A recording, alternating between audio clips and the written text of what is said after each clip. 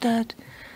Upcycling, Kerzenständer für Tischdeko, Festdeko, zum Spaß haben, zum Verschenken und das wirklich eigentlich kostenfrei. Einfach gemacht, simpel gemacht, schnell gemacht. Meine Idee für dich, für euch. Und wenn du noch mehr von mir erfahren möchtest, was ich so mache, dann schau doch einfach mal auf meine Startseite kreativ-reich die Kika-Plauderei. Ich bin Kerstin und da gibt es oben eine kleine Leiste und da steht Playlist. Dann klickt man die an und dann kommt alles, was ich so gemacht habe, in, in Ordner, wie so eine Bibliothek. Häkeln, Stricken, Basteln, Basteln für und mit Kinder.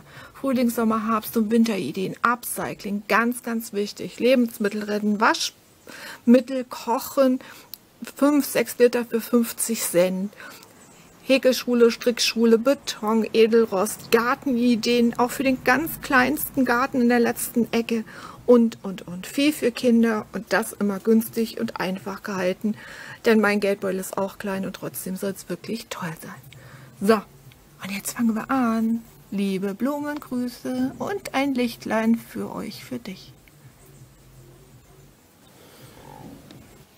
So, und nochmal gezeigt, nach einem Tag sehen sie so aus. Immer noch toll. Man kann da unten ein bisschen Wasser reinmachen, das ist wirklich kein Problem. Jetzt kommen wir zur Upcycling-Methode. Schaut mir einfach so eine Fischdose ab, klein oder groß. Oder die Förmchen können auch größer sein. Also nimm einfach, was du da hast. Und als Kerzenständer ganz einfach Metallschraubverschlüsse. Die haben genau die Größe, die man so braucht. Und wenn die Kerze nicht genau reinpasst, einfach unten ein bisschen Krepp, Klebeband drumherum gewickelt um die Kerze und dann passt das. So, und die kann man einkleben, entweder mittig oder auf die Seite, wie man das möchte. Oder gerade bei den Backförmchen geht es ganz gut, wenn man ein Loch in die Mitte macht und auch in den Schraubverschluss und das wirklich mit der Schraube verschraubt, mit einer kleinen Mutter, weil unten ist ja hohl. Ne? Und dann kann man das ganz toll verschrauben und kann es so machen. Ansonsten muss es wirklich ein richtig guter Kleber sein. Ich habe, das ist mein Kleber, den ich jetzt schon länger benutze und ganz begeistert bin. Den habe ich, ich habe lang suchen müssen, bis ich den Top-Kleber gefunden habe, der wirklich auch dann mal hält draußen und drinnen. Und der hat mir dann wirklich gut Dienste geleistet. Ach, was habe ich da schon alles mitgeklebt? Edelrost-Sachen zum Beispiel, die ich ja auch mache, ne?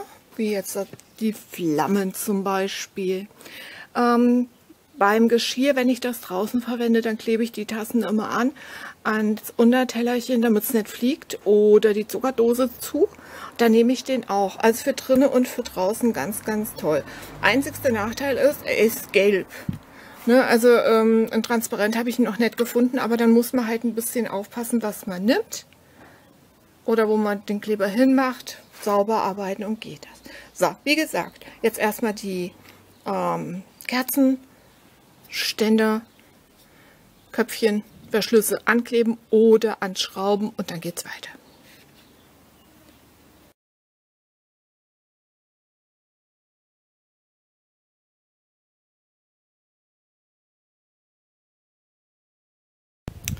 So, jetzt kommt der Wind ein bisschen. Ich hoffe, mit der Tonqualität geht es trotzdem. Ich habe jetzt meine Deko Blumen geholt, einfach was man so im Garten hat. Vom Schnittlauch vom Rosmarin, Thymian, Blätter, Zweige, ein paar kleine Äste, die bemoost sind. Der Stein liegt da, weil man muss es auch, wenn es nicht richtig wird, mal beschweren, die Kerzenständer. Gänseblümchen, Margariten in Gelb, Jasmin, also was man so hat, nimmt man oder man macht einfach mal einen schönen Wald- und Wiesen Spaziergang, nehmt ein Körbchen mit, gerade für Kinder, nicht eine Plastiktüte in ein Körbchen und sammelt, was da sich so anbietet. Und das legen wir jetzt einfach ein. Gerade jetzt da Kräuter. ganz, ganz toll. Die duften auch noch schön, trocknen dann wunderschön ein und man hat eine Grundlage. Nun durch den Metallverschluss und das Metallförmchen bleibt das auch sicher. Und dann legen wir es aus, wie gesagt, mit dem, was man hat. Und das hält wirklich ein paar Tage. Man kann auch ein bisschen Wasser reinmachen. Ihr seht ja, es ist aus Metall. Wo soll es hinfließen? Nirgendwo. Und dann wirklich ausgelegt. Mehr ist es gar nicht. Meine Idee für euch, für dich. Und das sind immer meine Ideen. Simpel gehalten, einfach gehalten, besonders. Und dann schaut mal, wie schnell das geht. Und da braucht man keinen Gesteckschwamm oder irgendwas. Ach, jetzt holen wir das wieder raus. Sondern einfach nur Upcycling, was man zu Hause hat. So, und dann ist schon eins fertig. Kerze rein. Wie gesagt, wenn der Stopfen nicht so passt, dann einfach mal hier unten mit dem Kreppband umwickeln und dann kann man es reinsetzen und das hält. Und dann mache ich jetzt noch ein paar fertig und ihr hoffe ich doch auch.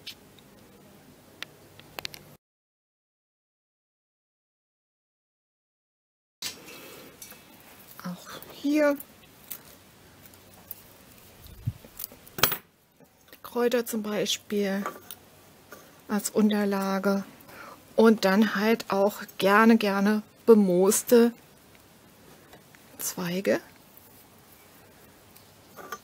Und so gibt es dann Deko-Ideen wirklich fürs ganze Jahr. Das taucht immer wieder mal auf.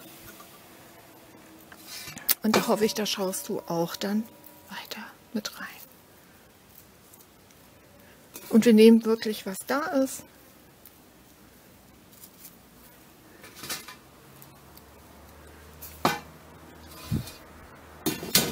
Und dann entsteht das nach und nach.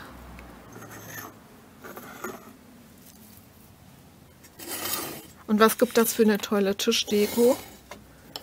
Man kommt sich vor wie so ein Märchenwald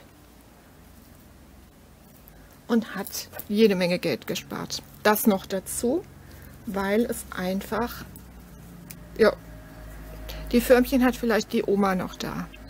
Ansonsten kriegt man die auf jedem Flohmarkt hinterhergeworfen. Und wenn man sie neu bestellt, da kosten, ich glaube, 12 Stück oder 16 Stück gerade mal 9 Euro so und so viel. Wie gesagt, wenn du möchtest, ein bisschen Wasser rein, muss aber nicht sein, kann man machen.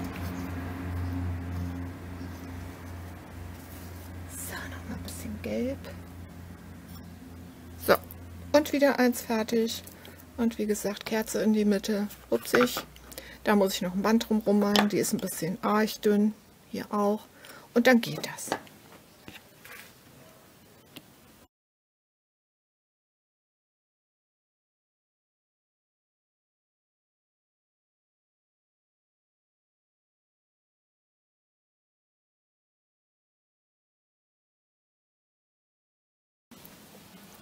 So, das ist jetzt auch mittlerweile ziemlich trocken. Und da lege ich einfach ein bisschen Buchs ein.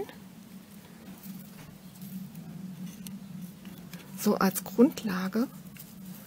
Weil ein bisschen Grün macht sich immer gut. Hohe Kerzen nehmen. Ja, wenn das dann eintrocknet, brennt es auch gern. Aber das dauert ja seine Zeit, bis die runtergebrannt sind.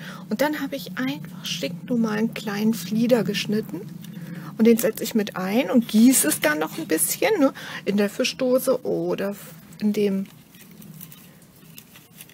Backförmchen haben wir ja genug Platz und kann es dann eingießen. Und hier braucht man keinen Gesteckschwamm, einfach nur richtig reindrücken und dann hat man so eine schöne süße Deko. Vielleicht noch ein Gänseblümchen dazu. Oder nochmal Rosmarin, Thymian, Blüten, Stängel, vielleicht noch ein kleines Ästchen, das so bemoost ist. und schon ist eine wunderschöne kleine Deko fertig, wie hier auch. Das zum Beispiel ist jetzt schon zwei Tage alt und trotzdem ganz toll und ohne Wasser. So, Lavendel macht sich immer, immer gut. Dann kommt die Kerze rein. Wie gesagt, wenn so ein bisschen groß ist, einfach mit dem Kreppband unten so weit umwickeln, dass es super passt.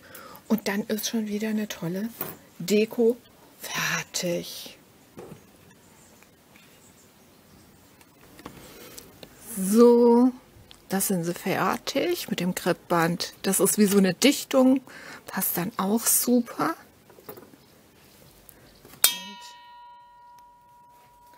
Stecken wir es noch an.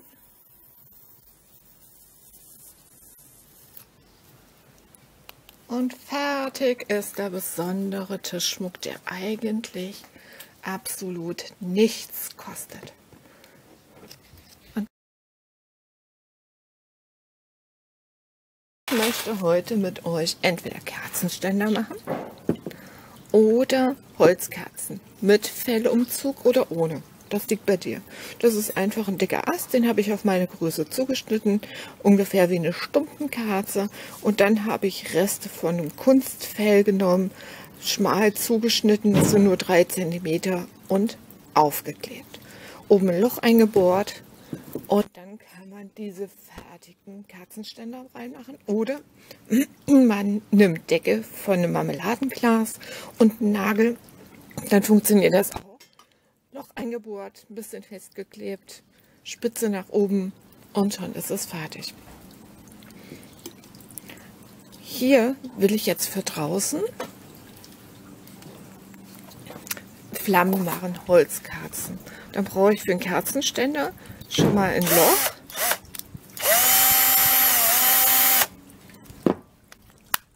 Schon mal ein Loch, damit ich das auf dem Kerzenständer lösen kann. Und dann bohre ich oben noch ein Loch, weil ich Edelrostflammen einsetzen will. Und dazu habe ich euch ein komplettes Video schon gezeigt, wie man die selber machen kann in Upcycling mit einer Edelrostpaste. Da stelle ich dann nochmal die Infobox und dann könnt ihr die selber machen. Und die Paste kostet ein Abel und Ei, sonst kostet ja so ein kleines Ding schon 12 bis 14 Euro. Und dann bohre ich jetzt Löcher, setze die ein. Man kann sie einschlagen, eindrücken oder festkleben, so wie du das möchtest.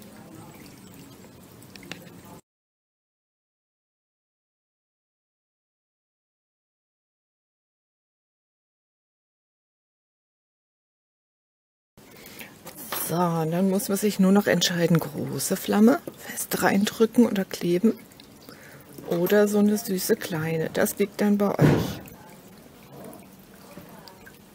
Und dann ich brauche es jetzt für die Außenkerzen als Deko. Upsi.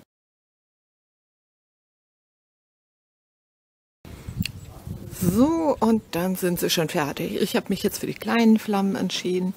Wie gesagt, du kannst das gern mit Fell machen oder ohne, für drinnen, für draußen. Dann hoffe ich sehr, es hat gefallen. Du konntest es gut umsetzen mit meinen Tipps und Tricks. Wenn es dir dann gefallen hat, findest du noch viel, viel mehr auf meiner Startseite kreativ-reich die Kika-Plauderei, wie gesagt. Und dann wünsche ich eine wundervolle Zeit, eine blumige Zeit, eine farbenfrohe Zeit. Alles Liebe und bis wieder mal, eure Deine Kerstin.